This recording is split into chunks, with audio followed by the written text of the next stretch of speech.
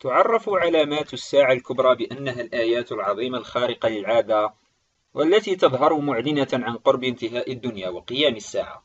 ويشار إلى أن أي منها لم يظهر بعد ويكون وقوع هذه الآيات متتابعا. أي الواحدة والأخرى ليس بينهما تباعد زمني. لقول رسول الله صلى الله عليه وسلم خروج الآيات بعضها على إثر بعض يتتابعن كما تتابع, تتابع الخزر في النظام. ذكر رسول الله صلى الله عليه وسلم في عدة أحاديث علامات الساعة الكبرى إلا أن ذكره لها كان لا يقتضي الترتيب في وقوعها. وذلك لمجيء العطف فيها بالواو وهو الأمر الذي لا يشير إليه الترتيب فيها. ولأن ترتيب العلامات يختلف من حديث إلى آخر. فقد كانت مسألة ترتيب علامات الساعة الكبرى قابلة لاجتهاد العلماء إلا أنهم اتفقوا ابتداء على أن خروج النار هي آخر العلامات. أما أولى العلامات وما يليها فقد كان موضع خلاف بينهم. فمنهم من قسم العلامات إلى علامات أرضية أولها ظهور الدجال وأخرى سماوية أولها طلوع الشمس من مغربها.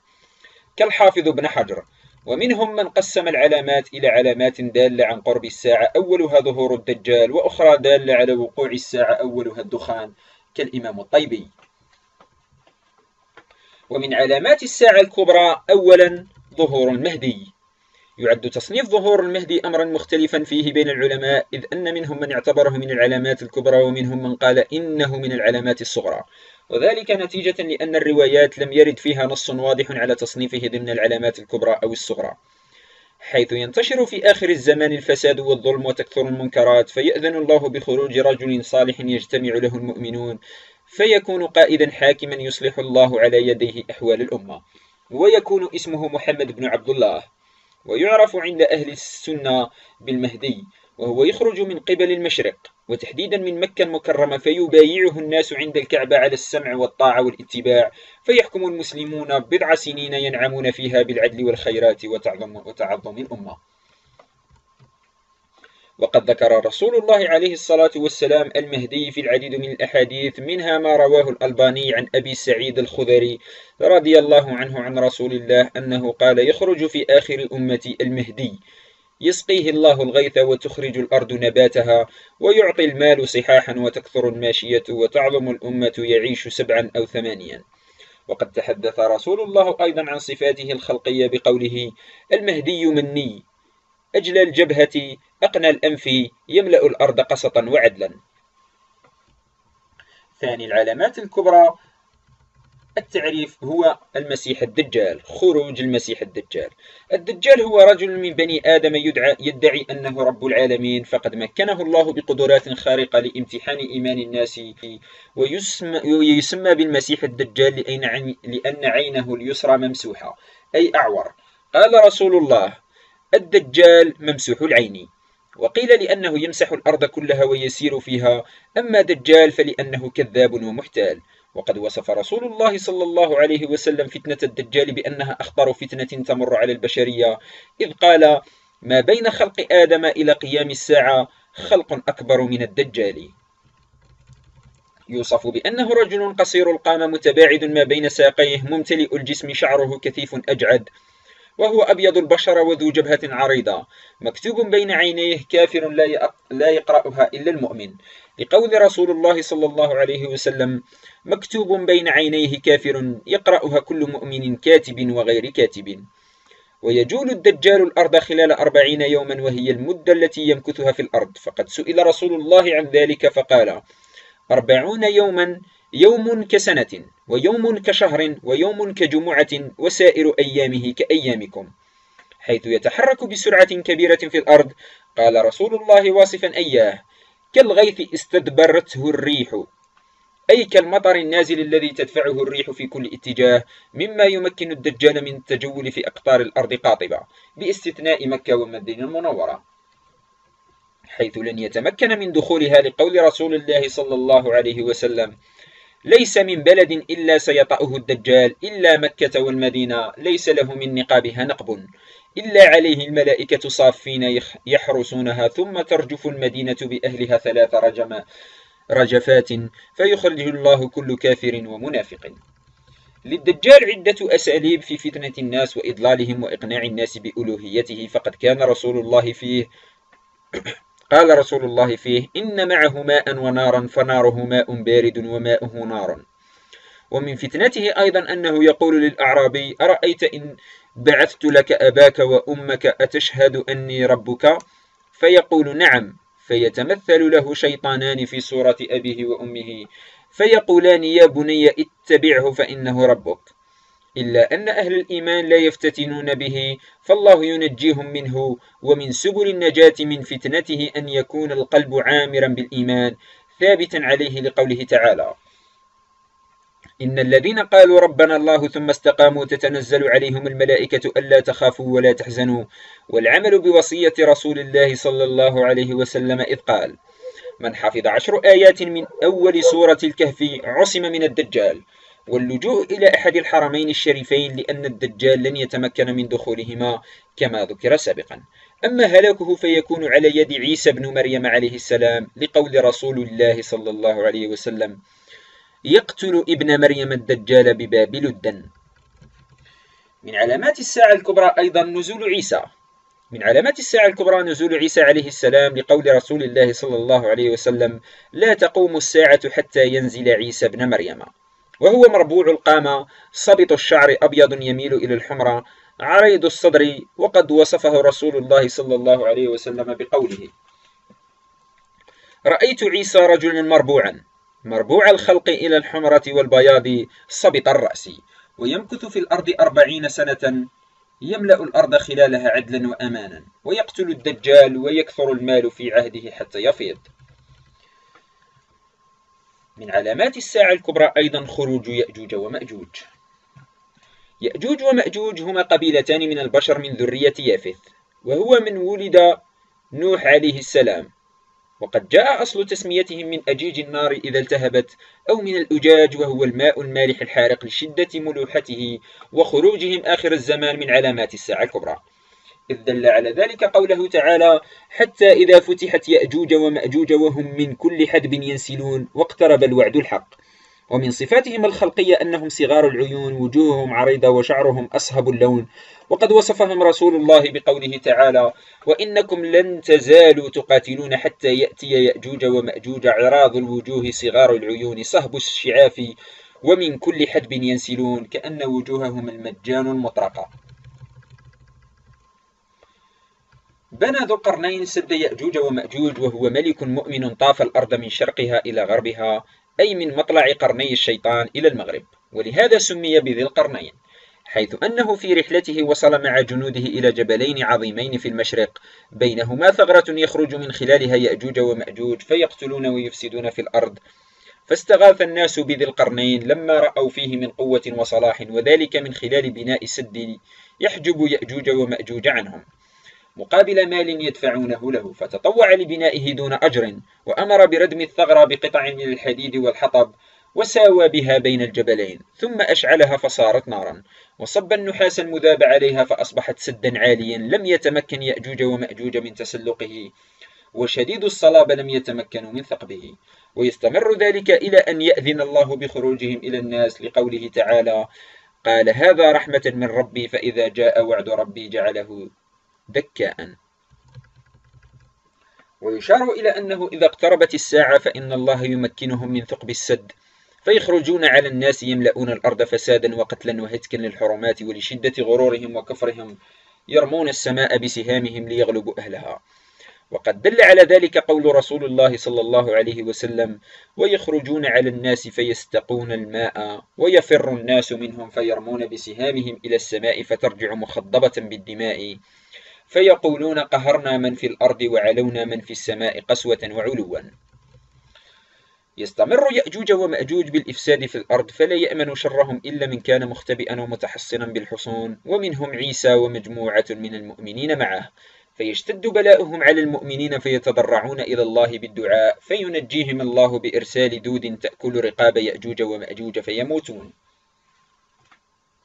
ثم يبعث الله طيرا أعناقهم طويلة فتحمل أجسادهم إلى حيث يشاء الله سبحانه تعالى. من علامات الساعة الكبرى أيضا هدم الكعبة والدخان. يعد هدم الكعبة من علامات اقتراب الساعة وذلك من قبل رجل من الحبشة يدعى بذي السويقتين لصغر ساقيه ورقتهما. قال رسول الله يخرب الكعبة ذو السويقتين من الحبشة. وقد وصفه بأنه أسود متباعد ما بين ساقيه يهدم الكعبة حجرا حجرا. لقوله صلى الله عليه وسلم كأني به أسود أفحج يقلعها حجرا حجرا. ويشار إلى أن ما سيحدث للكعبة من خراب لا يتنافى مع قوله تعالى حرما آمنا. إذ أنه يبقى آمنا إلى قرب قيام الساعة لا إلى قيامها الفعلي. أما المدينة المنورة فسيخرج الناس منها وذلك من علامات الساعة فيتركونها حتى تصبح خاوية على الرغم من طيب عيشها وثمارها. إذ قال رسول الله صلى الله عليه وسلم يتركون المدينة على خير ما كانت لا يغشاها إلا العوافي. والعوافي هي الطير والسباع. وقد أخبر الرسول عليه الصلاة والسلام أن الدخان الوارد ذكره في قوله تعالى فارتقب يوم تأتي السماء بدخان مبين. هو من علامات الساعة وذلك في قوله تعالى إنها لن تقوم حتى ترون قبلها عشر آيات فذكر الدخان. من علامات الساعة الكبرى أيضا رفع القرآن من السطور والصدور.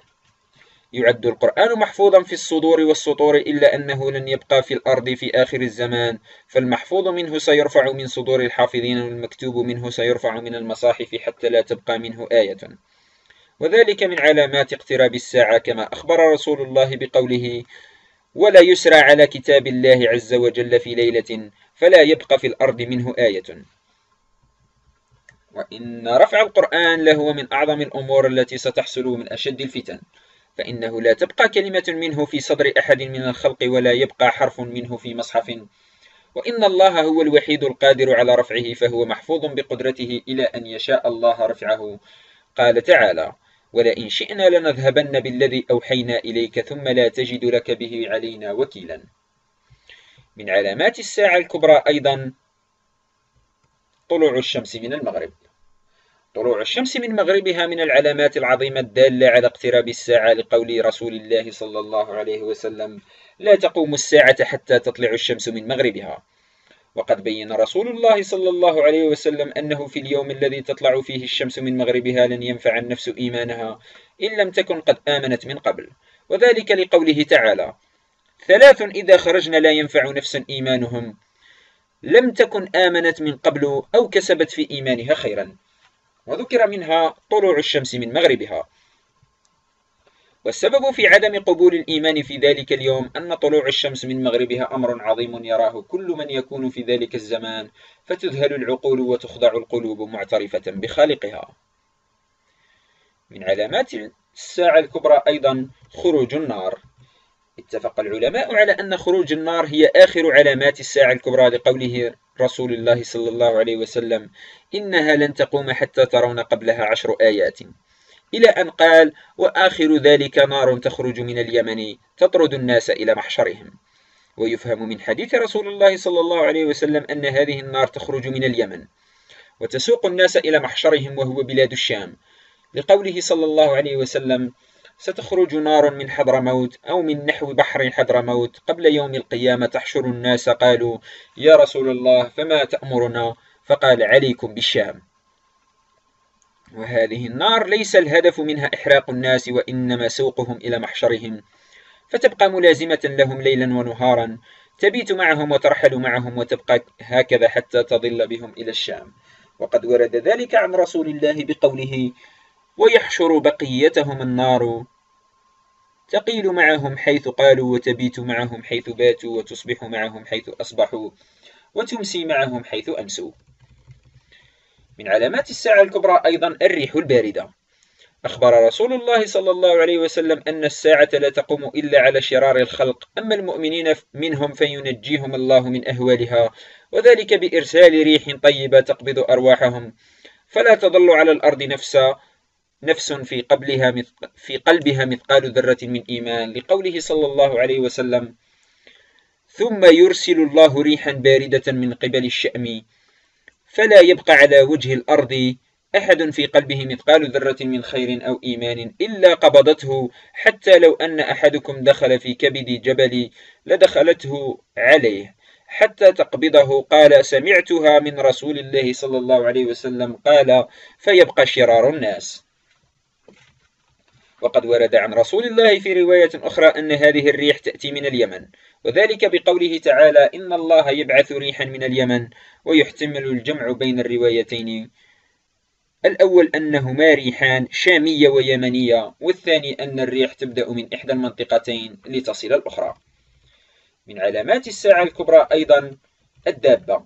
أخبر رسول الله عن خروج علامة من علامات الساعة الكبرى في اليوم الذي تطلع فيه الشمس من مغربها ألا وهي دابة تكلم الناس إذ قال إن أول الآيات خروجا طلوع الشمس من مغربها وخروج الدابة على الناس ضحى فتكلم الناس بكلام واضح وتخبرهم أن الناس كانوا لا يوقنون بآيات الله وتميز المؤمن عن الكافر بوضع علامة على أنف المؤمن. فيعرف أنه مؤمن لقول رسول الله تخرج الدابة فتسم الناس على خراطيمهم ثم يعمرون فيكم حتى يشتري الرجل الدابة. فيقال ممن اشتريت؟ فيقول من الرجل المخطم. وبعد خروجها إلى الناس لا ينفع الإيمان. لمن لم يكن مؤمنا من قبل؟ لقول رسول الله صلى الله عليه وسلم ثلاث إذا خرجنا لا ينفع نفسا إيمانها. لم تكن آمنت من قبل أو كسبت في إيمانها خيرا. وذكر من بينها دابة الأرض. من العلامات للساعة الكبرى هي الخسوفات الثلاثة. تعد لفظة الخسف مصدرا للفعل خسف. فخسفت الأرض أي غارت بمن عليها وخسفت به الأرض أي اختفى بداخلها. ومن علامات الساعة الكبرى حدوث ثلاثة خسوف في الأرض لقول رسول الله صلى الله عليه وسلم إنها لن تقوم حتى ترون قبلها عشرة آيات. في الأرض لقول رسول الله صلى الله عليه وسلم إنها لن تقوم حتى ترون قبلها عشر آيات وذكر منها وثلاثة خسوف خسف بالمشرق وخسف بالمغرب وخسف بجزيرة العرب. وهذه الخسوف الثلاثة ليست كغيرها مما يحدث الآن فهي أعظم مكانا وقدرا وتكون في المشرق وفي المغرب وفي جزيرة العرب كما أخبر رسول الله.